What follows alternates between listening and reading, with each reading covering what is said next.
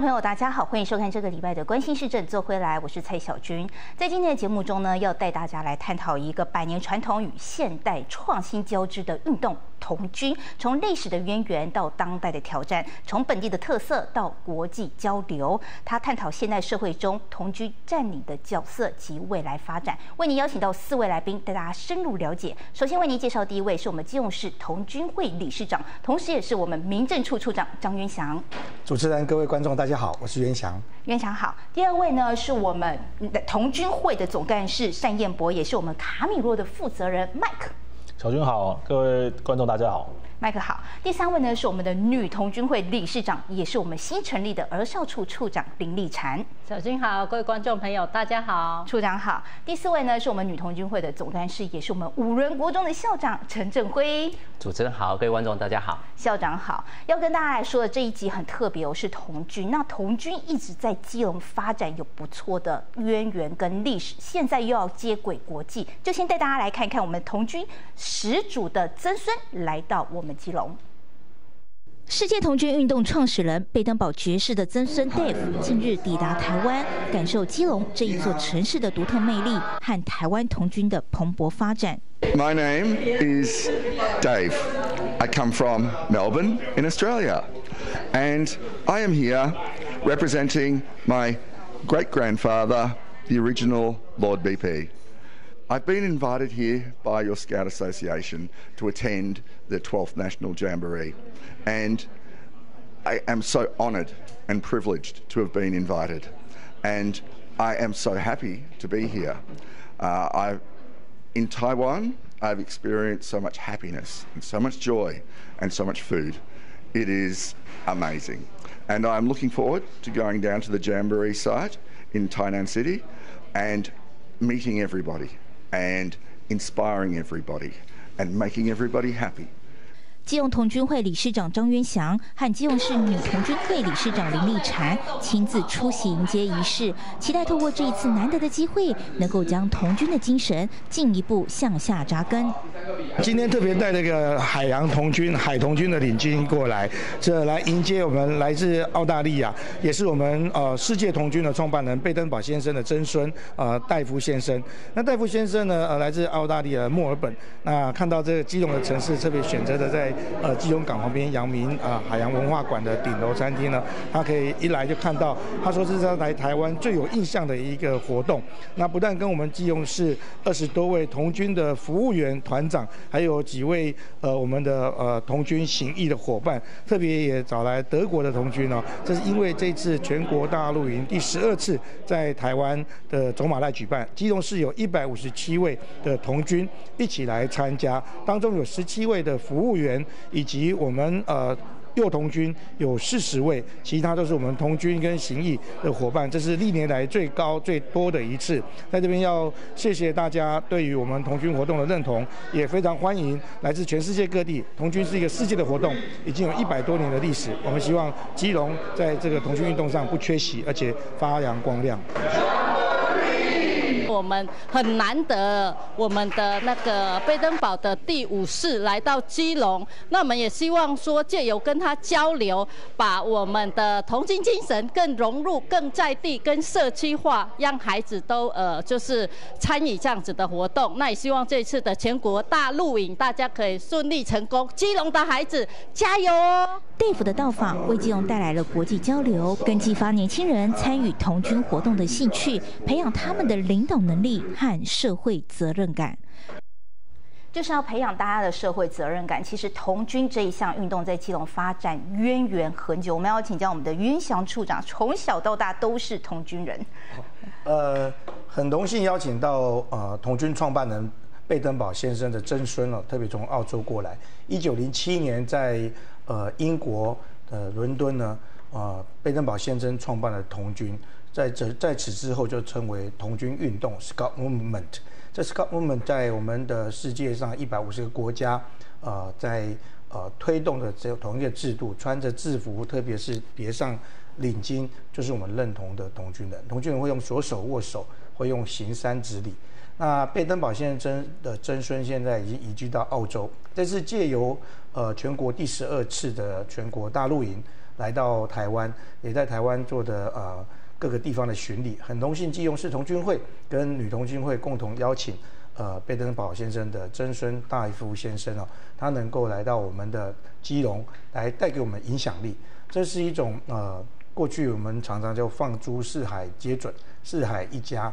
就是我们大家都共同的，因为贝登堡先生创办这个斗军运动之后，呃，行同样的礼，做同样的事情。这些事情不外乎就是让呃不分种族、不分年纪、不分性别的呃童军朋友。以我们在生活上的技能，以及各项在户外、室内的这样的活动，让孩子在寓教于乐。所以是大人带着孩子共同啊，从露营、从活动、从各种这种非正式的教育、非学校的教育，在这样的啊情况之下，带动孩子啊从地方然后迈向到国际。所以呃，我们接受了这样的运动、这样的活动之后，呃，今天有这个机会能够来跟大家分享童军，也希望大家能够多多选择加入呃童军跟女童军这样的一个团体。对，迈向国际这件事很重要，因为现在就是接轨国际，要让大家看见台湾嘛。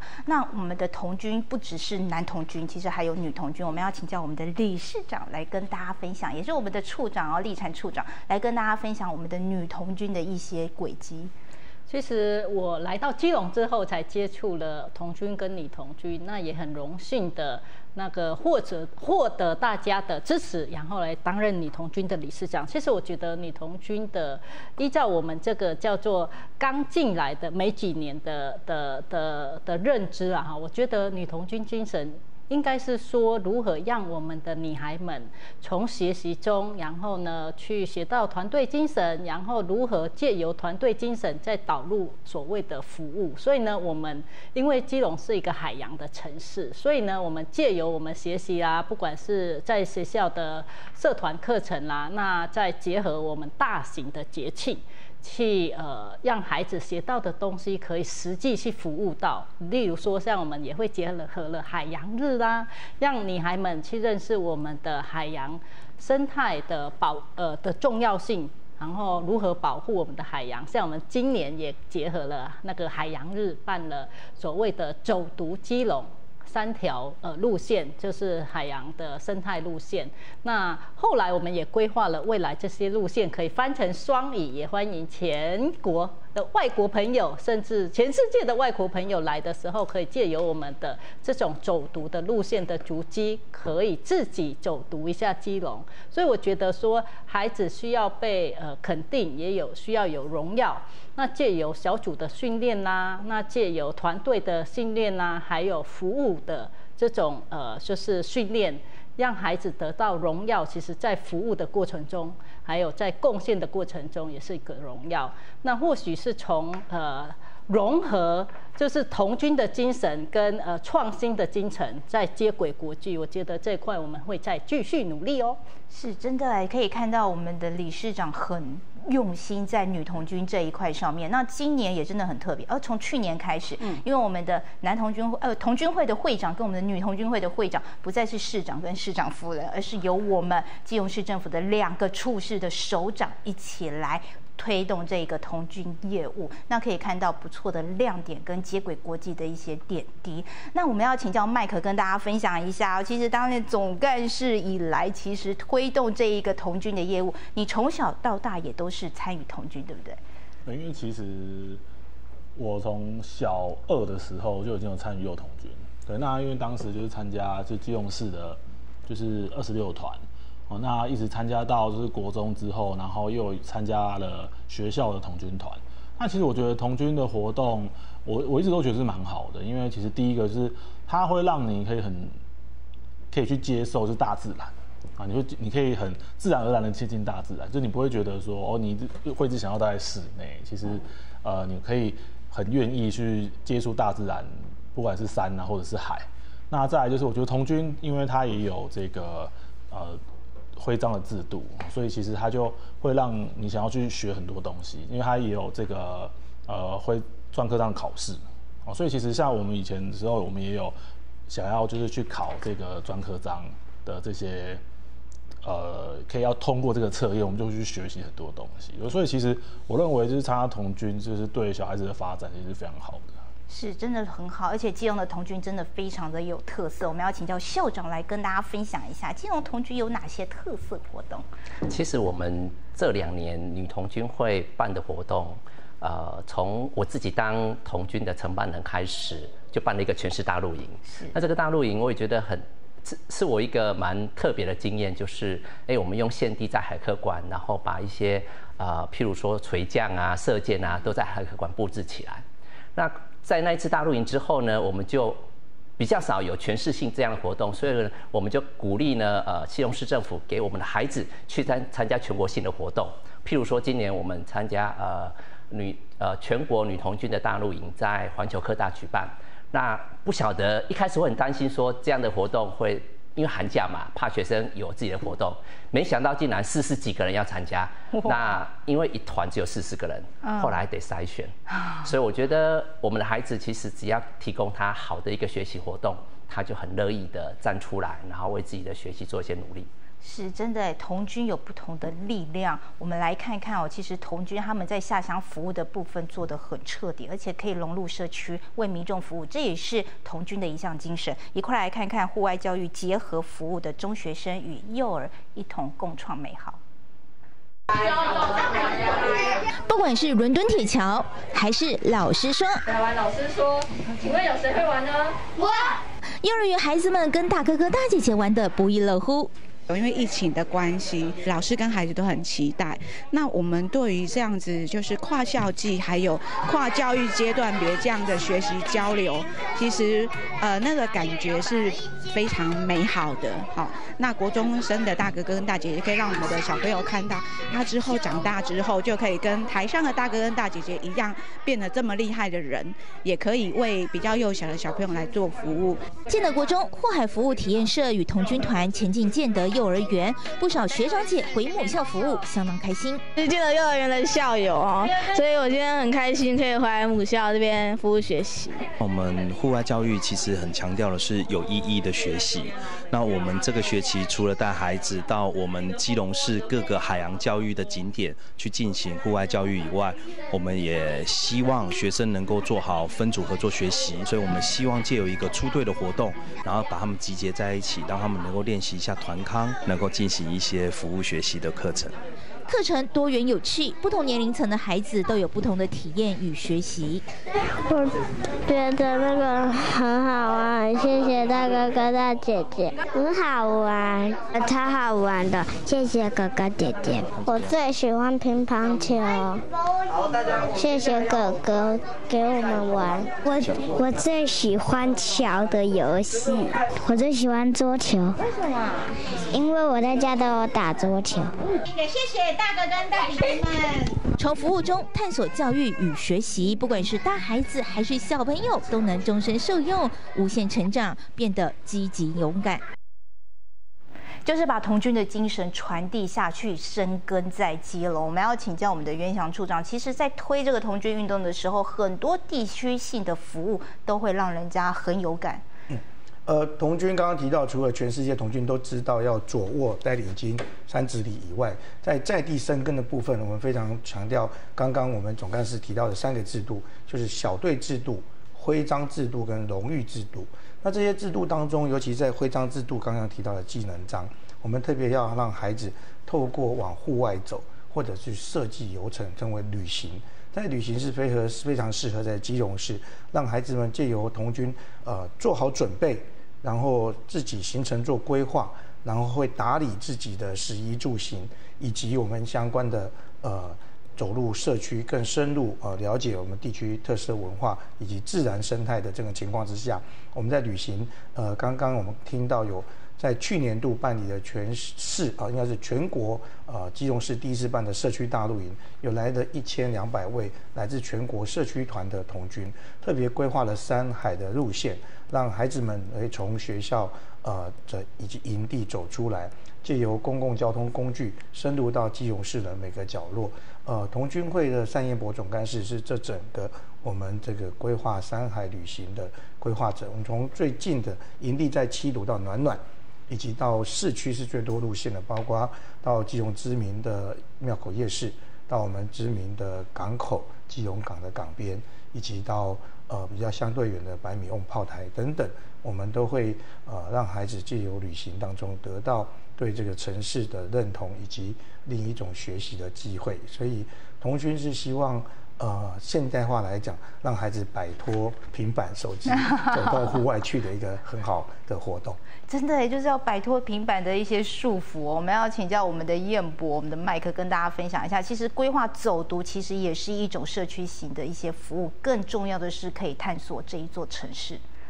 那其实我觉得童军的活动啊，其实在以国外来讲，我自己在英国有看到的，其实他们其实呃非常。对于社区的服务，其实是非常在地的。那我自己也看过，在呃英国的一个世界文化遗产，就是铁桥谷。那他们是可以说是全世界我们工业革命的起源，就是全世界第一座铁桥，就是在那个地方出现的。那我那时候去看的时候，其实刚好就有看到他们当天又是假日，所以有同军的伙伴，他们有在那边就是帮忙，就是希望大家可以他们做解说，然后呢，然后希望让在地的游客。或是在地的人经过时候，他们可以募捐，就是那这个募捐的钱就是去回回馈到这个桥上面去做这个古迹的这个维护。哦，所以其实我后来当下的时候，我也觉得就是说，哎，其实原来童军他们可以借由童军的这个力量，我们确实是真正可以去推广到就是我们在地，像我们基隆在地要解说百米瓮之类的。对，就是呃，我觉得如果童军他我们强调交流嘛，如果每个童军。我们都可以了解在地这些故事的话，那其实就是可以成为一个非常好的推广我们就是在地文化的一种力量。是，真的就是推广在地的力量。像女童军他们在女孩日的活动，其实就结合了海洋教育这部分，也推出了走读。我们要请教立产处长跟大家分享。其实我们女童军一直在谈到所谓的专业化、年轻化，还有永续化的。呃，这个面向来迈进，所以呢，我们所谓的专业化，也希望我们的孩子对相关的议题深入的了解，而且专业的去呃，就是分享出去。那第二个是谈到永续的部分，所以呢，我们在去年跟今年会定定不同的永续指标。那针对我们定的指标，会在整个年度所有的活动，包括我们所下到呃，就是社区去办理的，都是以。呃，定定的目标去执行，所以呢，包括我们的六一女童军节，我们就结合了海洋日，那也结合了我们的就是基隆是一个海洋城市，所以呢，对海还有对山，因为我们觉得近海跟近山是最重要的，我们先友善我们的海洋，友善我们的山，那我们的环境才会更好。那这个活动呢，我们除了带着女童军，还有很多呃，就是。呃，就是服务员一起去走读以外呢，我们也希望说，希呃大家来到基隆也可以呃，就是走读以外也可以珍惜我们这个就是大自然给我们的一个环境。所以呢，包括说我们也倡议，就是自己带的环保杯啦，不要用吸管啦，因为基隆是一个海洋城市，其实吸管。呃，丢到海洋去是非常不好的。其实我们常讲到永续，永续，其实永续最重要的还是地方化、社区化落实下去才能永续。所以从小做起，然后影响大人，让大人一起来做这种永续的工作。是，这就是小小的种子发扬生根哦。那我相信郑辉校长一定很有感。其实，在学校的教育当中融入童军教育这一件事情，其实大家都有目共睹。是，我觉得在童军活动上面，如果把它区分成是课程跟活动的话，我觉得在呃一般的学校，通通都会有童军课，可是不是每个学校都有童军团。那我很珍惜学校这样的一个童军团，那有童军老师愿意啊利用寒假暑假在课程之外，因为其实说实在，呃童军课能够给孩子的其实都是课本的知识，那要怎么样可以让他动手做？怎么样可以让他把这样的一个精神能够实践出来？课堂上很难，但是如果说有机会让他在社区或者参与我们所办的活动，这些呃环保的意识、永续的概念，我觉得都可以在实践过程当中深入。因为我觉得童军有一个很重要的概念是，它可以为未来的呃工作跟生活做好准备。是真的，就是为未来的工作跟生活做好准备哦。所以不止在我们基础的课程上在地化来进行之外，重要的是走出去，要带大家来看看哦，世界童军大露营。我们的渊祥处长跟我们的立产处长一起祈勉我们基隆的孩子，把基隆的孩子送到国外。回来之后，世界大露营即将在韩国登场。基隆市童军会理事长张渊祥和女童军会理事长林丽婵特别受旗，带给全世界的人认识台湾。从基隆开始，大家说好不好？好。基隆代表团准备好了吗？准备好了。出发前，特别为四位小队长配挂勋章，说表扬和勉励童军伙伴。也期许童军团员们能够勇于展现团结精神，将基隆友爱城市让世界看见。因为它是一个全世界性的活动，我可以跟世界上许多人一起同乐，可以认识外国文化，同时我也可以把基隆的一些特色，还有一些文化分享给世界各地的人，然后。做世界的交流这样子，就是很难得，就是因为就是可以就是代表基隆市去参加这样，然后就是在那边会有很多人，所以也会认识各个国家的童军伙伴。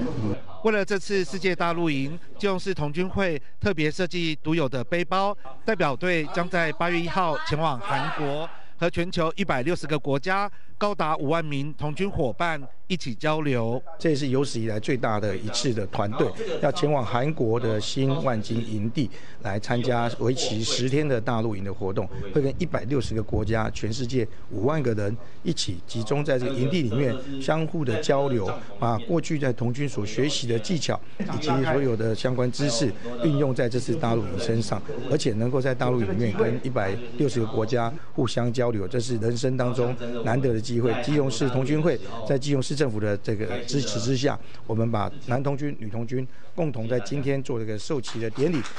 身为童军会的理事长，我们这一次呢，在我们的团长的设计之下，特别做了与全国不同，但当然跟全世界不同各自的背包，以及我们所有的背章都是我们刻字化为基隆所设计的。我们又要跟基隆市政府，也会带领一些基隆市政府的一些宣导品来宣导我们的城市，让他们带到全世界这一百六十个国家的大陆营场合，为我们基隆市成为我们的外交大使，成为我们童军的伙伴。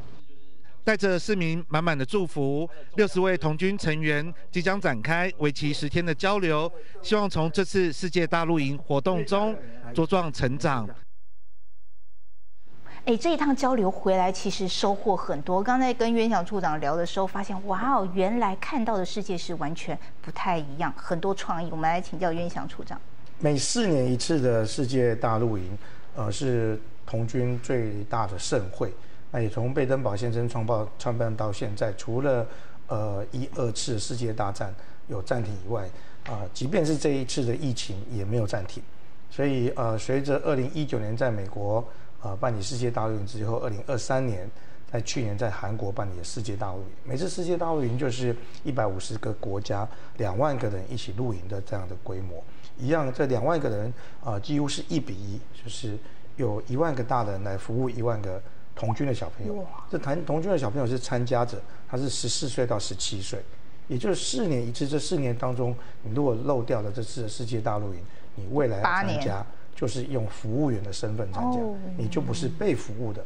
不是参加者。所以借借借这个机会，也要呼吁呃家长们，呃每四年一次的世界大陆营，要先让孩子参加加入童军团，在在地的地方，透过活动，透过训练。来学习相关露营的技巧，这一露营就是十天的时间，孩子们要自己搭帐篷、整理营地、自己煮饭、自己弄炊事，然后呢，也要跟来自全世界的国家的小朋友们、这些童军们共同一起来交流。童军的旅行，尤其到国外，你会看到特别的一面。第一个是刚刚姐讲的，大家有共同的符号，即便你的语文能力不是很好，但是大家是非常亲近。这是全世界上，呃，独一无二，让孩子们就可以走向国际的一种社团的活动，也让孩子们能够在不花费巨额的旅行费用当中，能够来参与这种国际的活动，而且透过这种，呃，共同出资集资办理的活动，可以让孩子别开生面，感受到世界最新的科技，然后世界最流行的各种文化，包括音乐、舞蹈，或者是最传统的童军的相关的舞蹈、音乐跟欢呼。住在帐篷里面，不是住饭店，吃饭的是靠自己煮。所以在费用上非常的经济，但是在精神层面上面是孩子一辈子一辈子永远不会忘掉的非常好的一个国际活动。对，真的是国际活动啊！其实我们在台湾也有办这种全国性的大露营，像今年就在走马赖，我们要请教我们的燕波的麦克来跟大家分享一下，其实这一次带基隆的孩子出去大概多少人？大家有看到什么样的亮点？嗯。这一次我们基隆代表团出去，其实有大概一百多个人。嗯，哦，那我觉得非常特别，就是说，因为呃，今年全国大陆营是我们呃，我们台湾各县市，然后我们都有代表团队出去，所以其实呃，我觉得他们有规划一个非常特别的一个，就是在呃星期天的时候，哦，星期六的时候，他们有一个就是文化的一个交流日。哦，那当各个县市呢，他们其实同军团他们都会准备，就是代表自己这个呃在地文化这些东西。哦，那我觉得这是非常好的，因为其实你可以透过就是这个录影的这个活动，然后呢，我们可以去了解，就是哦，其实我们在我们住基隆市之外，其实其他县市他们有什么特殊的这些，不管是文化故事啊，或者是历史故事，或者是在地的这些名产，那就可以透过这个活动，它可能就像刚才我们理事长讲，就是不是只是露营住帐篷，哦，我们可能可以再去。透过这个同军的活动，可以再去了解到就是不同县市的这些文化。那比如说像他们的哦，我们还有看到这个晚上的这国际交流日，那也有别的县市的那个同军的伙伴，他们是吹那个唢呐。对，那我觉得这个这个对那个外国的同军来看到，都会觉得所以这个是非常特别的。是，真的，就外国同军其实看到来到我们台湾一起参加这个全国大陆营的活动，都会有很多很神奇的亮点跟收获。那当然了，女同军的部分其实也有，我们要请教我们的立成处长。其实我们知道说，其实越国际其实就是要越在地。刚刚讲到帐篷，其实我们知道说，孩子在呃实际生活上面在推动。课程相关童军的课程，其实还是需要我们多多一点支持。所以，你童军也推动了，包括说，如果呃有些团可能他们缺乏一些呃帐篷啦、一些物资啊，我们也会以你童军的角色，那用所谓的共享的模式来提供给孩子。所以，这个是我们之后会去推动的。那包括说，我们在今年的一月二十九。一月呃三十一，一月一号、二号，我们有四天，四天，对，在云林的环球科技大学办呃一个全国女童军的大露营。那我们的主题，我记得那时候是，就是为女孩携手，永续向前走。那整个大露营。呃，里面就会涵盖了永续相关的议题，不管是我们的童军的技能啦，还有创客科技啦，还有户外教学，还有我们的所谓的就是 SDGs 的策略跟实验，那让孩子去呃，就是如何一起动手，重点是有来自世界各地的。呃，童军也加入我们女童军的大陆营，尤其是有代表，呃，就是他们世界童军的呃代表人也有来，包括亚洲区的。那在我们有限的资源之下，没办法让孩子到全世界去看看。那至少我们可以把全世界的人回到台湾来，让孩子跟他们接触，从语言上面的交流也是一种国际交流。那我们知道说，其实女童军总会那边也会结合了一些国际议题，SG。SDGs 还是我们的女性的所谓女孩日，只有女童军独有可能，呃，在女童军这一块，针对女孩子就会比较着重。那女孩子最主要还是在谈到所谓的性平啦，还有所谓的就是呃就是劳动权益要平等啦，相关的呃女性议题就会在我们的谈论当中谈。除了社区谈、全国谈、世界谈，所以呢也会。呃，让孩子到世界里面去发声，不管是联合国也好，我们今年度应该是去年呐，女童军总会也有。呃，派就是训练我们的孩子，就送到国际去。其实我们也一直在谈我们的儿少呃代表，尤其是基隆最近也儿少处有在遴选我们的儿少代表。那我们往年的儿少代表可能会谈谈我们地方的啊、交通的啊、教育的啦。其实孩子除了谈地方的议题外，也可以谈全国的议题、世界的议题，让我们的孩子就是。踩着相关的议题讨论，那由我们来带领他们去呃，就是关心呃身边的人，关心身边的孩子以外，还有关心世界的议题。这也是我们呃，就是女童军这边会去做的。那我刚好也是儿少处的处长，所以我们对儿少议题其实也一直希望有一些琢磨。很多人问我说，那呃可以扮演什么样的角色？我说，其实我们应该是扮演。女童军的一个呃，就是板凳，那让孩子踩上我们的板凳，踩得很稳、很安全的看世界，一起跟世界参与相关世界的议题，这是我们一直想做的。是，哎，真的很感动哎，就是当孩子们最坚强的依靠，让孩子们可以有进行国际交流。那当然，在这一部分，我相信在学校端也看到很多。我们要请教郑慧校长，是不是有什么样的案例可以跟大家分享？呃。其实女童军会在这几年有几个大活动，一个是六一女童军节，另外一个是国际女孩日。那二零一二年呢，联合国在呃宣布十月二十呃十月十月十一号是国际女孩日。其实为了就是希望能够呃消除一些不平等的对待啊，然后两性平权啊，那希希望能够为女孩子的能力在提升，然后提供她们更多的机会。那基隆市的这个女童军会也为了这个国际女孩日办了一些活动，像以去年来讲，我们办的这个型男大主厨，其实就是呃为了让这样子的一个家事分工啊两性平权，因为现在双薪家庭，那只有呃父母亲在家庭的家务上分工，小孩子才能学会这些事情。那我们在这个活动当中也倡导每个人都是家里的一份子，未来。在社会上的运作跟啊家庭要健全，其实才会有一个非常健全的一个公民。所以，我们透过这样的一个活动，希望能够让孩子知道，每个人都有为家庭承担责任的这样的一个角色。是，就是跨领域，然后进入家庭，最后要到国际。那当然，在国际接触点上呢，其实很多外国的童军团也来到我们基隆，要带大家来看一看我们的香港童军团海童军参访基隆。在。来自香港的海童军在基隆护海中心引领下参访海科馆及海洋大学，其中只靠风帆也可以航向美国的自由中国号，拥有百年历史，象征海洋精神与海洋文化的发展。自由中国号它在三年前哈移到海洋大学来，那我们是以户外展示的方式跟大家见面。那现在目前大部分展场的部分已经都布置完了，包括有解说牌。我们希望他先去看一下海图哈，了解一下它整个航行的状况，跟过去那个。呃，麦哲伦啊，或郑和下西洋的路线有什么差异哈？然后了解一下彼此的关系。那我们进到这个展区看船的时候，我们当然会看，先看一下船首的这个彩绘，然后了解一下它的意义哈，是不是八仙过海？那我们看一下龙目。在哪里？然后我们进到这个赏船的阶梯之后，可以看一下船的甲板的样子，哈，然后船舱的样子。那在船舱的位置那边可以拍一个照，哈，就是你在直接在自由中国号这个字样的旁边拍照。那你到了船底的部分，哈，你就会看到船底是不是有一个一个关舵的一个视窗，然后另外有一个伞的造型。那事实上那个是船的厕所，好，你可以了解一下这个船大概的构造，中式船的规划的方式。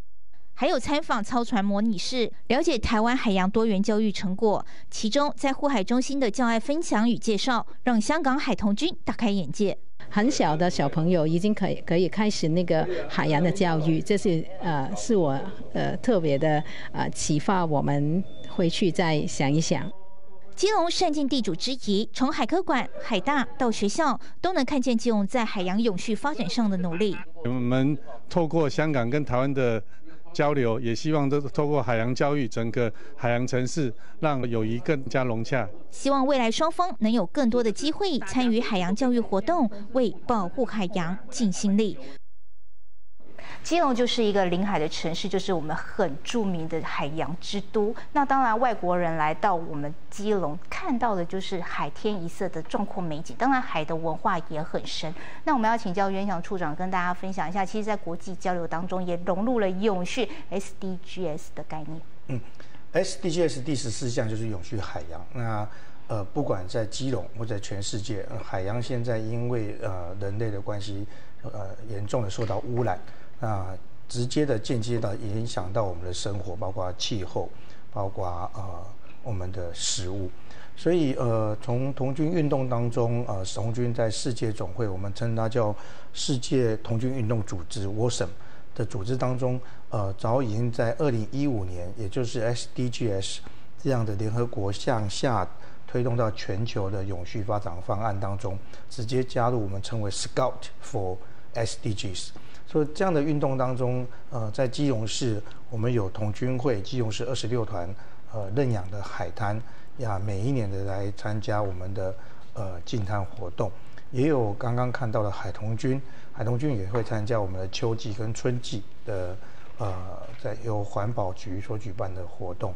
那当然有更多呃童军的伙伴啊，也会参加我们的海洋环保，像把海洋废弃物拿来回收再利用。呃，做一些相关的事情，所以呃，童军寓教于乐以外，也透过童军总会跟着到我们的联合国向下的运动，共同的来维护我们的地球。大家都知道，地球啊现在的状况需要人类呃改变我们的思维，用具体行动来呃营救、来维护这个地球的环境。那每一次的呃大活动当中，呃刚刚提到，不管是世界大陆营。全国大陆营都会有特定的节目跟单元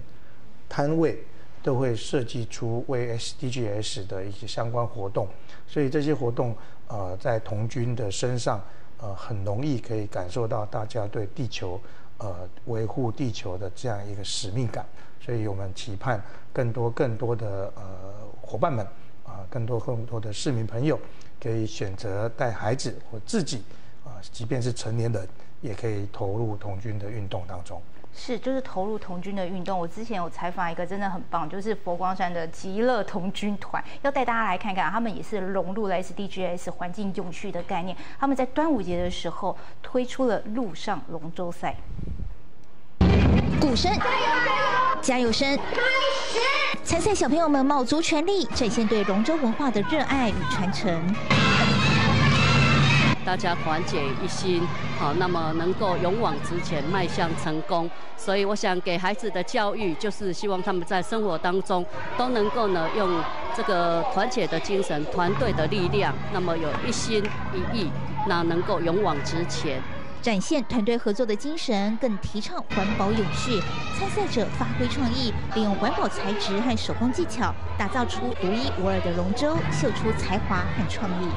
除了纸箱以外，我们还有用了蛋盒，还有棉花，在我们着色还用到蜡笔跟喷漆。这个奖的话是用纸筒以及它那个纸板粘上去之后是制成的。佛光山极乐寺还推出了香包 DIY 活动，发扬古人除瘟辟邪的智慧，希望带给社会大众每一个人都能够平安吉祥，疫情远离，病毒远离，那大家能够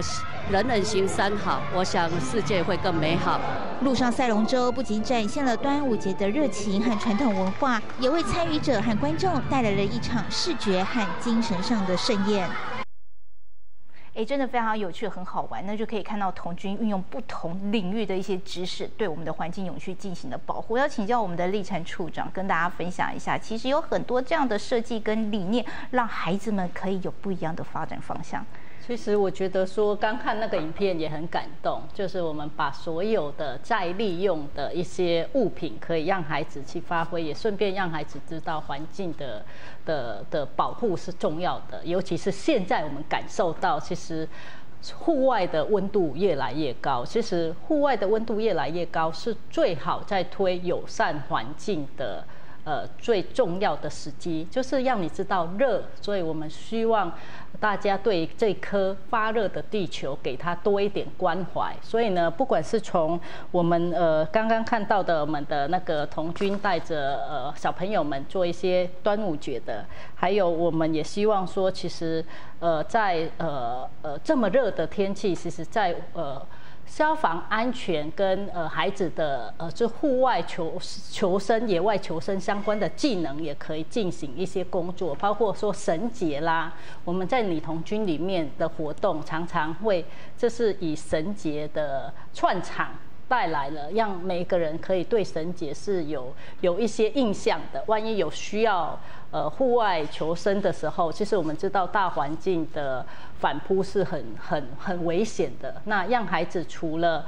保护地球以外，但有时候在反扑，我们也无法去预设，所以呢。在这个部分也会呃写呃希望孩子多多去学习相关的就是户外求生的。那再来就是说我们在做呃相关的倡议当中，也希望孩子可以去影响到身边的人。所以呢，我们希望孩子进到社区，所以那时候有跟几个社区去谈说，哎，我们如何去关心我们的长者。那让孩子学到的东西进到社区去，那所以呢，我们在今年的十月也会办我们的会使女童军的，就是三天两夜在基隆，那把全国的会使女童军邀到基隆来，七个区走读基隆，那从在地文化跟永续议题去设定，那原则上我们还是会有永续的 DIY 相关的呃东西来带着这些。呃，就是这些会使女童军，我们常想说，其实环境教育、永续教育，其实一直在谈教育。可是我们知道说，教育是终身教育，不是只有教育孩子，是希望终身教育这种呃 SDGs 还是因为 SDGs 在五十年前可能没有，那五十年前的长者们。就已经就就已经跟我们在一起到现在，所以他也需要了解 SDGs 到底是虾米物件，都是社区爱做的，诶，就是地球需要我们一起维护，所以一起维护不是只有孩子，所以孩子也可以带给长辈们的永续，还有我们服务的精神，包括大家会看到海洋，呃，老鹰嘉年华的时候呢，在呃就是现场做服务的也是我们女童军。那有很多的呃，就是服务的项目，我们也希望女童军借由服务去宣导这种，呃，今年我们设定的 SDGs 的目标。是，就可以看到，其实童军他们推动很多的活动，而且融入基隆在地的生活，有很多亮眼的成效表现。我们要请教我们的郑辉校长，是不是跟大家分享一下？其实教育端在推动这一项运动的时候，其实是着重在实际面上。是。呃，在 SDGs 里面有第三个计划，第三个目标是啊，good wealth 跟 well-being。那我觉得，嗯，童军在这个部分其实是结合的很好。为什么这样讲呢？其实，呃，身体健康是教育里面一个很重要的一个活动。像我们专科章里面，它有四项，其中一项是健身。那这样的一个专科章考验，事实上我们希望孩子培养的是一个呃终身的这样的一个运动习惯。那可是心理健康，其实我们很少琢磨，可是童军却做得很深入。为什么这样讲呢？呃，许多研究都告诉我们，我们做的事情如果是助人利他，然后呢是可以发展自己的潜能，它能够让自己快乐跟幸福的指数非常的高。而我们同居一直在做的是呃日行一善，我们一直在做的是服务，所以我觉得刚好符合我们 SDGs 这一项的一个目标啊，身心的一个健康，然后促进我们的这样的一个呃对当下的一个满足跟幸福。是，真的就是要让大家都市生活的越来越好，让大家是地球的公民，都拥有这一份幸福的感觉。那接下来要带大家来关注的哦，就是请教 Mike，是不是跟大家分享一下历年来你参加的童军活动中，是不是有看到青少年成长的一些亮点跟历经？我觉得童军活动呢，其实最特别是的话，就是因为我们都会带出去，因为大部分其实在我。小二开始参加就是同学活动的时候，其实大部分都是出去，不管是好天气还是下雨，其实我们都在户外。那我觉得也间接就是影响到就是你去适应环境的这个能力，然后还有再来就是啊，如果环环境变化的时候，你要应对的那个状态。所以其实像我觉得参加童军的孩子啊，其实临场的应变应该都蛮强的。像我们这次去。走马拉的时候不是下大雨，对，那那时候我们去的时候就还没有雨哦，然后是瞬间就下大雨，然后下大雨的时候，因为草地嘛，就开始会有点积水，然后你就会看到那个童军他们就开始去挖那个排水排水，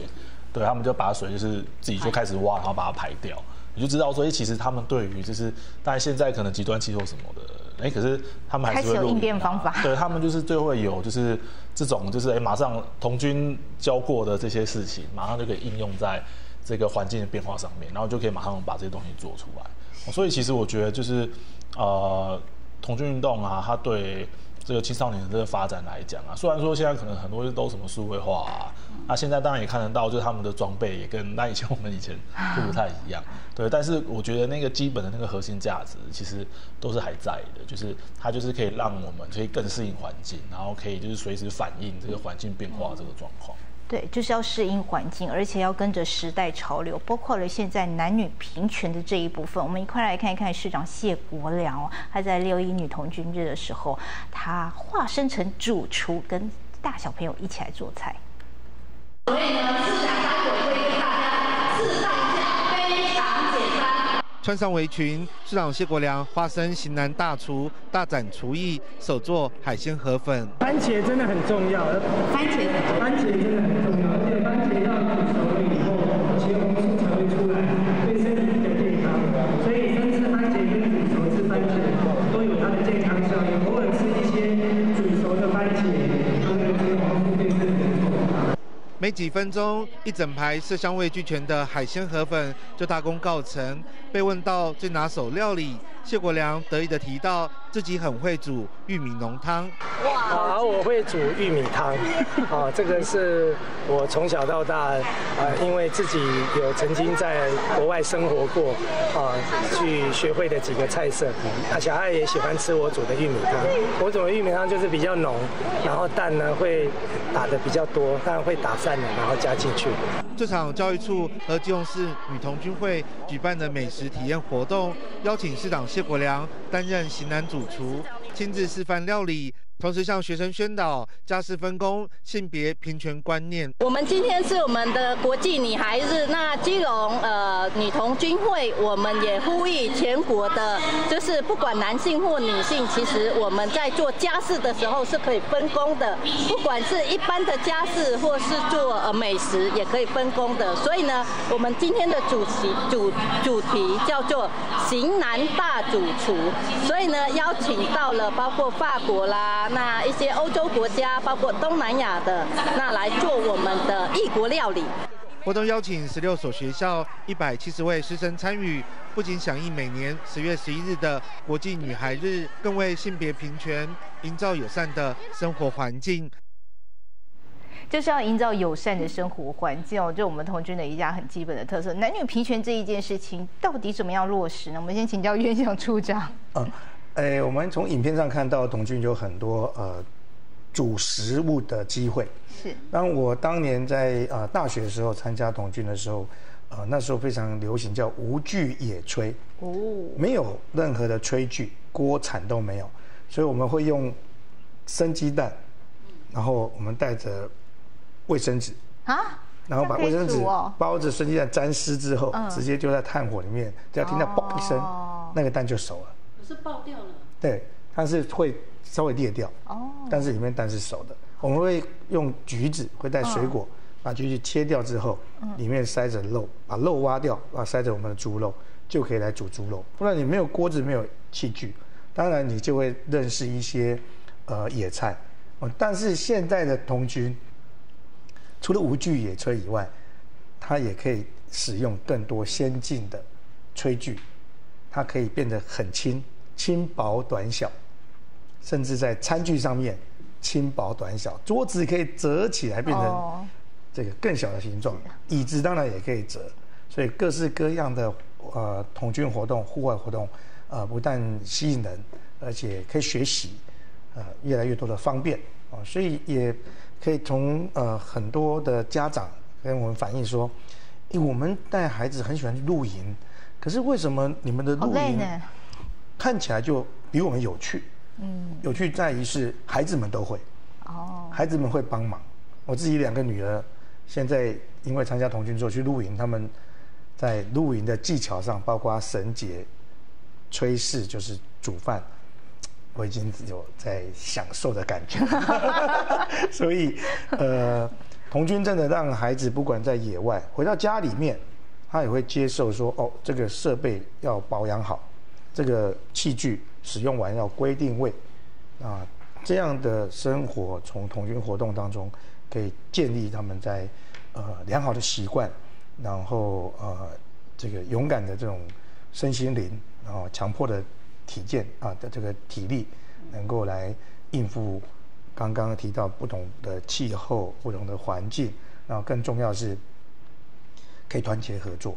嗯，对，所以这样的活动真的很值得推荐给所有的爸爸妈妈，还有鼓励孩子们一起来参与。对，所以就是人格成长的最好的一个童军运动。那请教麦克跟大家分享，哎，落实在自己的生活上，你有什么样的不一样的改变？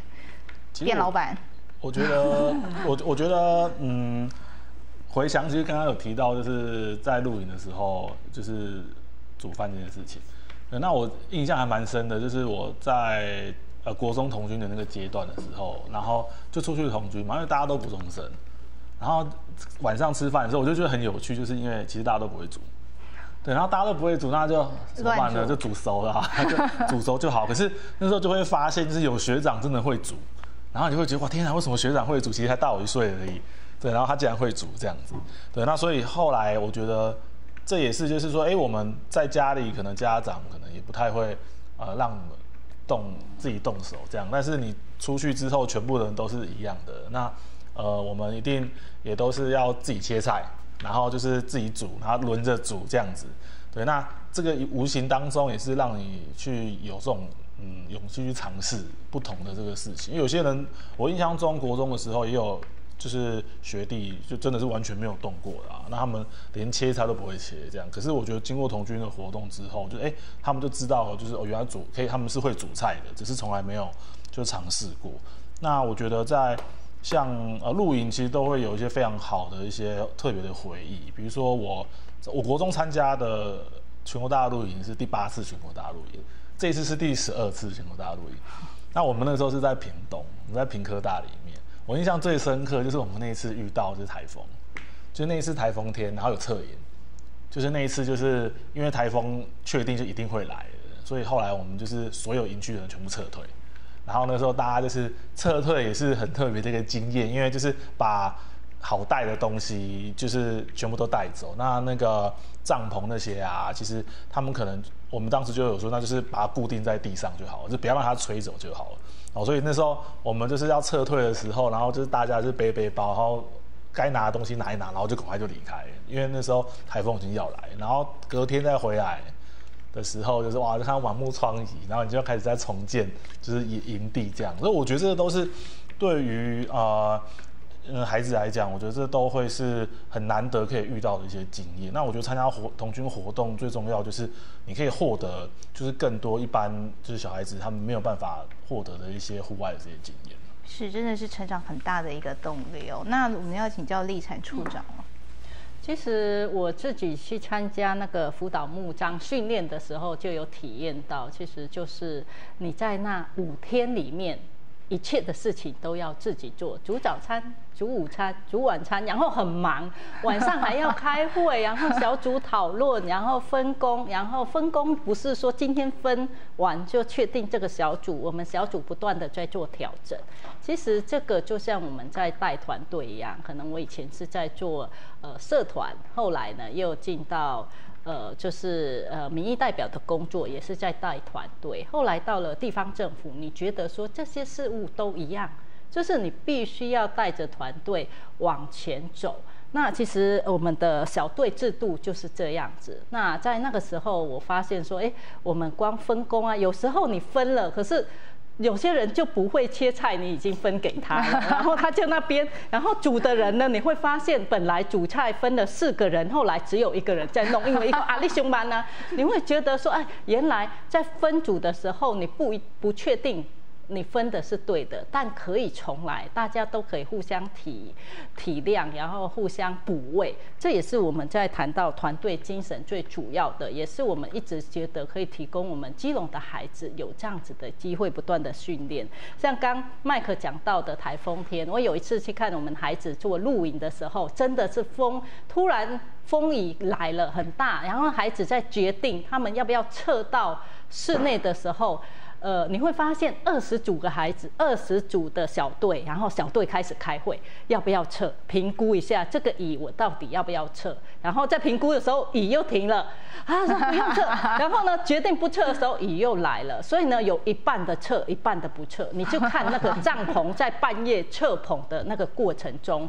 你必须要摸黑的走到室内，而且那个泥土泥地，它就要撤。然后撤的时候，你会发现里面已经铺铺好床了，东西都铺好了，如何快速的把它清出来？不然你整个帐篷无法撤。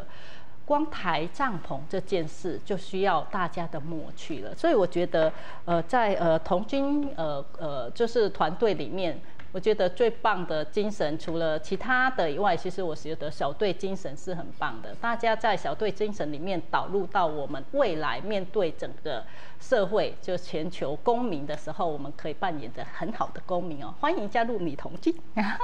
就是欢迎大家加入童军的行列。好，我们剩最后一分钟，我们请四位最后来做一个总结，展望未来。好，呃。从呃最在地就最国际，基隆市童军会，基隆市女童军会是一个呃在地就有的团体，但是跟世界来连接，是一个让孩子在现阶段网络社会当中，能够透过这个社团，能够实质的跟国际接轨的好的一个选择，欢迎大家。Mike。那我觉得童军活动啊，绝对非常适合就是小朋友的参与。那透过童军活动的参加呢，你可以就是获得就是非常多就是一般成长儿童成长不同的这些经验哦。所以其实非常欢迎大家就是可以来参加就是童军，然后体验非常特别的户外活动。处长好，除了呃儿童以外，其实青少年也欢迎加入我们童军跟女童军。其实我们提供很多青少年体验生活壮游的机会，这个部分欢迎大家加入基隆女童军跟基隆童军。校长是，我觉得童军有一个很棒的精神，一直用到现在，是看到事情愿意主动去承担，动手做。那我觉得童军是个平台，不论时代怎么演进。它都可以承载很多的课程，承载很多很多的活动，让课程活动跟我们的学生呃童军在这个地方相遇。我觉得在这个部分，呃童军它是一个历久弥新的一个活动。那我希望呃如果有兴趣的呃不管是小朋友或者是家长，都可以带着小孩子来参与。是，今天真的非常谢谢我们四位来宾哦，带大家看见我们从百年传统到现代的创新，以及本地特色到国际视野，我们见证童军的运动魅力还有影响力。欢迎大家一起来加入我们金融市的童军或女童军的行列。那我们一起来比这个好吧？我们下次见喽，拜拜。